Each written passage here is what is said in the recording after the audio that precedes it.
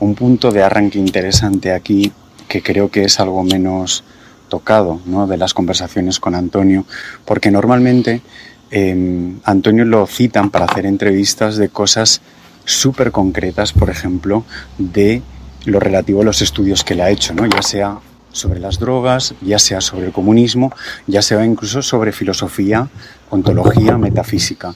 Y entonces, cuando me acerqué a su obra, sí que es verdad que a mí lo que más me interesaba era el corte transversal que une a todas ellas, que es la metodología de estudio, la metodología de trabajo y sobre todo el sacrificio subyacente ahí. lo primero era que, claro, la, metodología de trabajo en cuanto decir, hay una parte, eh, digamos, la nervadura, ¿no? De, que, que enraiza ahí todo, que puede interesarte una cosa determinada, pero la parte estudiosa, eso, esa base, sí que tiene que quedar. Es decir, yo veo mucha gente que dice, bueno, a mí esto me interesa más o menos del pensamiento de Antonio, digo, pero quédate con la filosofía de trabajo y eso a mí, esa parte que tienes de paciencia que decía Leopardi, de decir, lo importante no es hacer un gran esfuerzo un día, sino hacer mil esfuerzos pequeños mil días, yo creo que ese es un punto, un punto de... o todos los días siempre, ¿eh?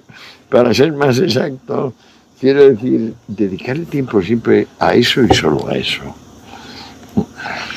A mi juicio, es perder el tiempo, todo lo que sea hablar de, de tu privada persona y tomar en cuenta eso, mis hijos, mi mujer, mi trabajo, mi yo. Ya lo tomamos en cuenta necesariamente por el hecho de ser. Cuando se pone a pensar en cualquier tipo de investigación, si no toma uno la precaución de intentar olvidarse de sí mismo, pues claro, suele, a mi juicio suele acabar en un rollo macabeo. Que tú quítate en medio y entonces no vas a perder el tiempo, no vas a tener la sensación de que quieres que aquello funcione. Tú quítate en medio y ya verás cómo el mundo irrumpe. Tú quítate de en medio y ya verás cómo las cosas se ponen bastante claritas. Mientras tú sigas estando por medio, va a ser difícil que nada se aclare. Pienso. Yo probablemente, por tanto, como me quisieron mis padres, pude aliviar la necesidad, digamos, de reconocimiento que tienen las personas que le piden a otras, reconóceme, dime que soy valiente, dime que soy inteligente, dime que soy buena persona.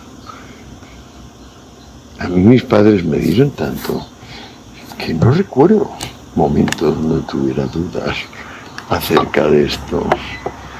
He tenido dudas cada vez que la vida me ha dado una lección y he sufrido, claro. Pero ni con esas he sido capaz de romper ese anillo de poder que me dieron mis padres con su afecto a lo mejor estoy mintiéndome a mí mismo y me digo eso y no pasó. Pero créeme que lo digo con franqueza.